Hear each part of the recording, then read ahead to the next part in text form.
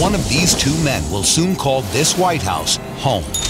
But to get there, they had to roll through some very tough issues. Now, it all comes down to election night. And for an election this historic, only ABC News, taking over Times Square, New York, and turning the crossroads of the world into your super election headquarters for a live global viewing event. Charlie Gibson, Diane Sawyer, George Stephanopoulos, ABC Election Night 2008.